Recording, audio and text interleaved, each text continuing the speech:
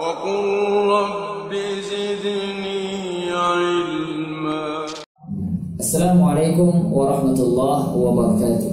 Ada dua kategori orang yang hanya wajib membayar fidyah saja, artinya tidak wajib berpuasa Ramadan. Yang pertama adalah orang sakit yang sakitnya tidak ada harapan sembuh.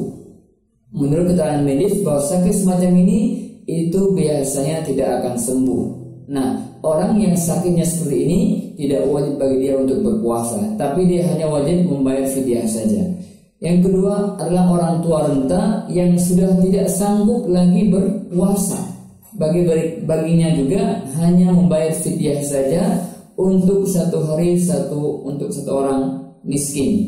Cara membayar fidyah bisa memilih tiga dia satu di antara tiga cara berikut ini. Yang pertama, seseorang bisa mengundang uh, fakir miskin ke rumahnya untuk makan malam atau makan siang dan semisalnya sejumlah hari yang dia tidak berpuasa.